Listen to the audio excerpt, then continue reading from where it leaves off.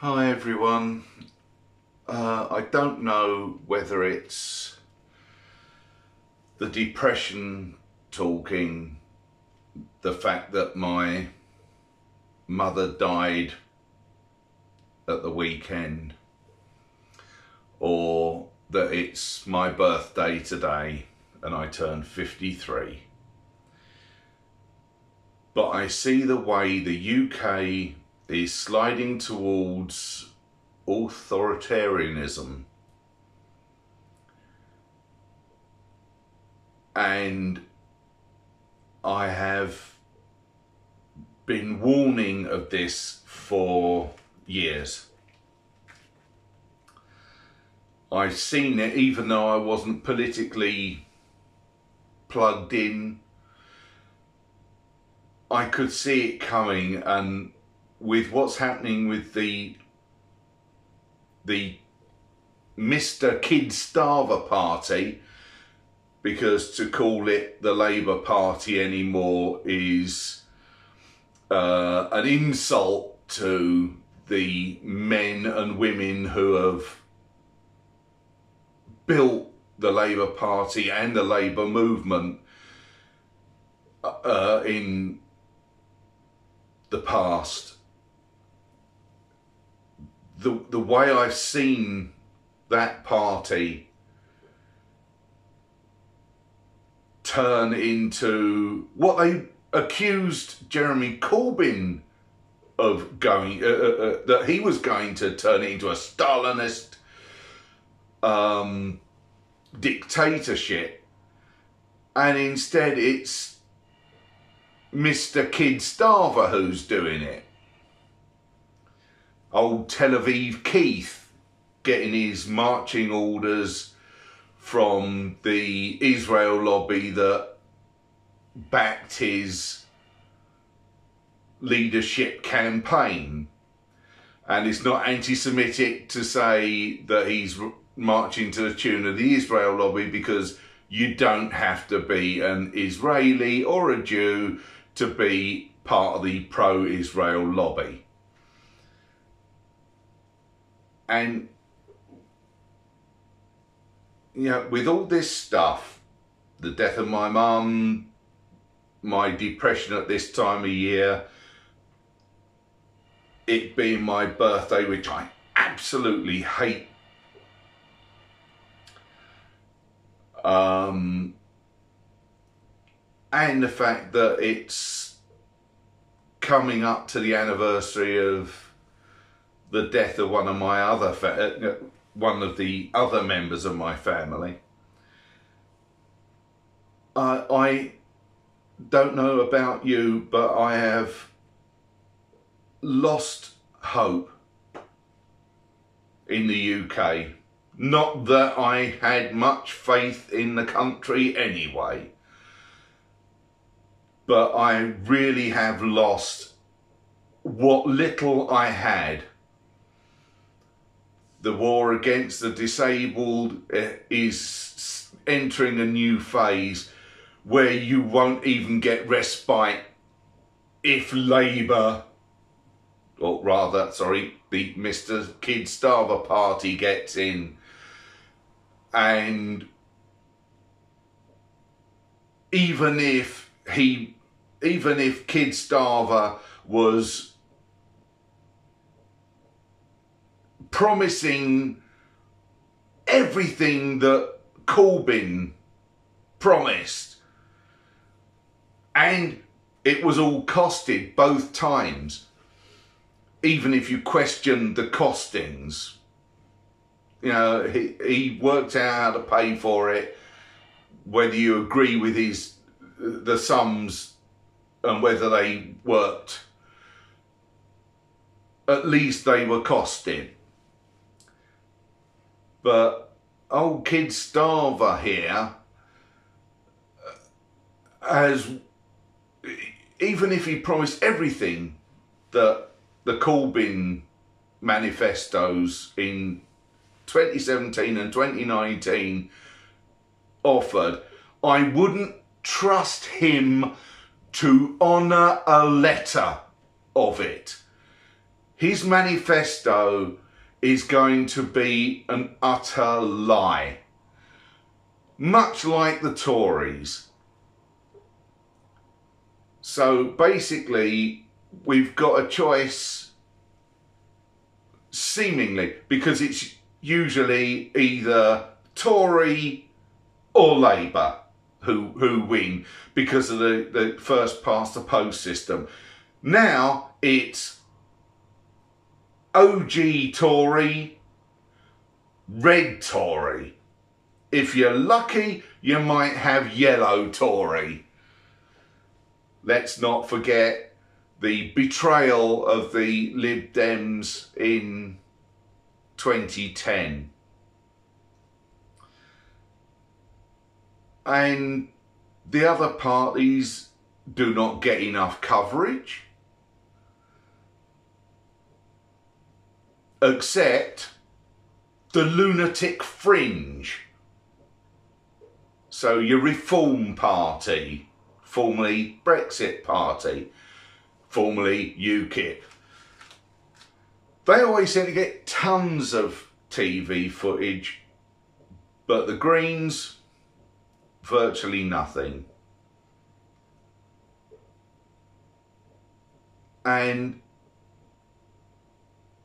I went to all the trouble of getting the voter oh the the the the, the free voter the uh, voter photo ID and when I got the chance to use it in the local elections I didn't use it. I didn't vote because I couldn't bear to put my cross next to Tory, but the only other option was Labour, and I am not going to support what is now not Labour. It's red Tories or the Kid Starver Party. Because those were the only options for me. I don't know what options I'm going to have for the general election, but I don't see me having much of a choice there either. I'm sick to death of it.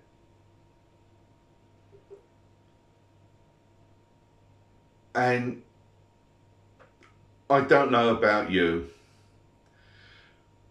but I have lost what little hope I might have had. And I honestly don't think I had much hope at all. I've been feeling hopeless for a long time. And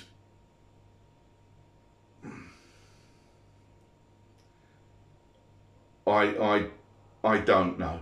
I don't know what I'm going to do.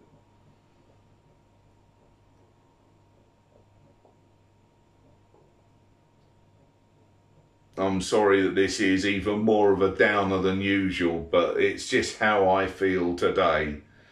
Maybe it's all the other stuff that's getting me down, but just seeing the news coverage over the last couple of days has really destroyed any hope I had of having a happy birthday.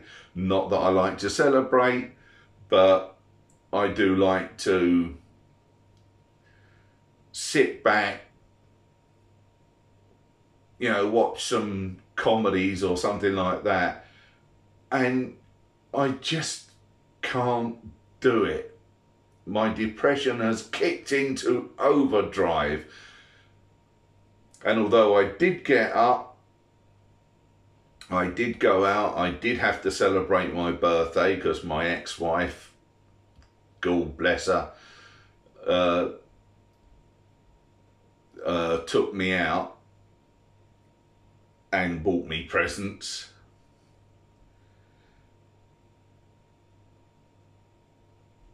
I had a, a reasonably good time, but in the back of it, I cannot enjoy any of it. And I don't see a way forward for this country. I don't see a way forward for the UK at all. Because if we have the Tories, the disabled people like myself are going to be attacked again. If the ki- uh, Kid Starver Party gets in, we're going to be attacked even more, according to the rhetoric coming from the, the front bench of the Red Tories. And there's no other party that can rival either of those. All they, all the other parties can do is maybe stop either of the two big biggest parties from getting a majority. I would love to see a hung parliament, but that is the only hope we've got.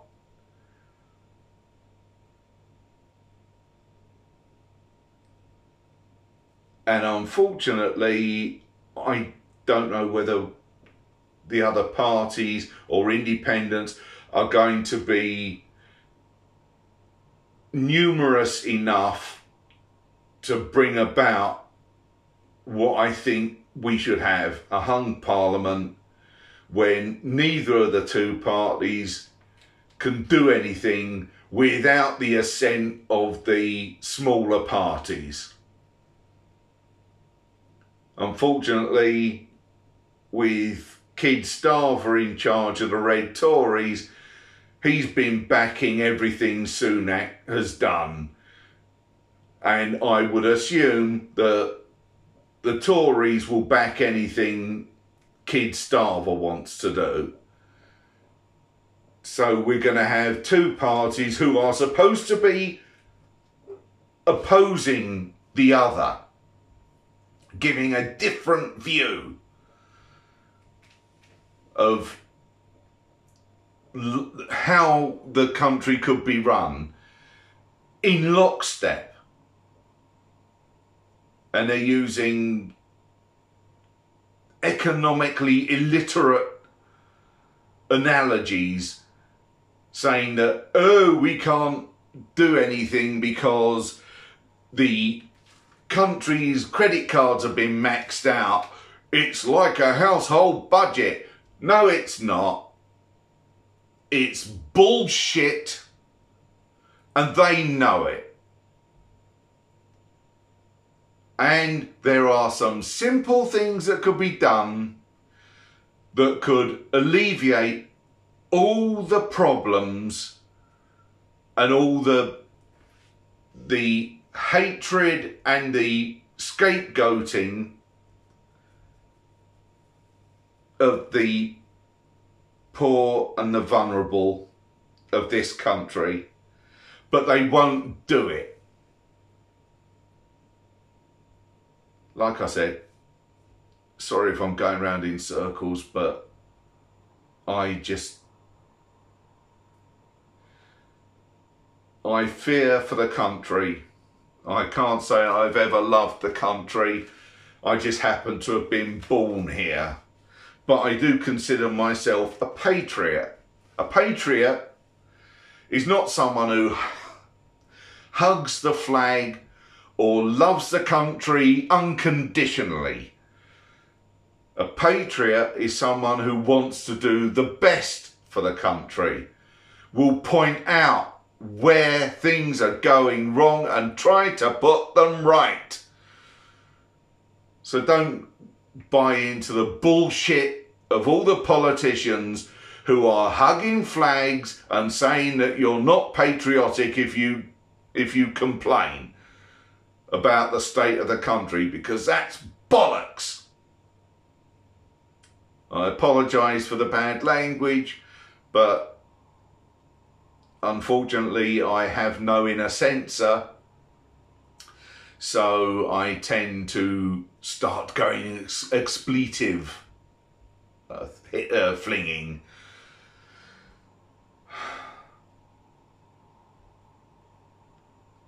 I don't know whether any of you feel the same. If you do, I hope you find some something to get you through the day. But I can't see it myself. I really can't.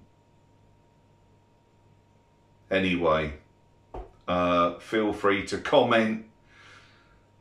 You don't have to agree with me but it, uh, I have to um, moderate the uh, comments because I have had um, some very nasty comments and I don't want to inflict them on you. They don't have any effect on me, but you know, seeing that sort of stuff might affect someone else and I don't want that. I don't have many subscribers. I, I don't really have many viewers most of the time. But those that I do have, I don't want to, you know, traumatize with some of the shit I've been sent. So I put stuff on that is constructive Um, if you're not a subscriber, I'm never going to be charging. I'm not trying to make this my my job or anything like that. I just think someone's got to be out there fighting the good fight as best as possible and I could never do this as a job anyway. So if you aren't a subscriber and you whether you like me or hate me. You can hate watch me if you want. Hit the subscribe button. If you do agree with anything that I say, feel free to share. It will be nice to get some more people viewing my videos. But as I said, it's never going to be a business for me. I just haven't got the stamina to keep doing videos the only reason I'm doing this one is because I am feeling particularly hopeless today. So, um, I will be back um, as soon as I've sorted out the situation with the. I'm not dealing with the funeral arrangements, but I've still got to prepare myself. I will be bringing uh, other videos out, but it won't be until after the funeral, which is, um, I think it's the 19th of June. But I will be, I will try and put something out, but it won't be a regular thing. But then, if you're a regular subscriber, you already know that I go for very long periods without doing anything. So Anyway, hope to see you next time. This is Valen signing out.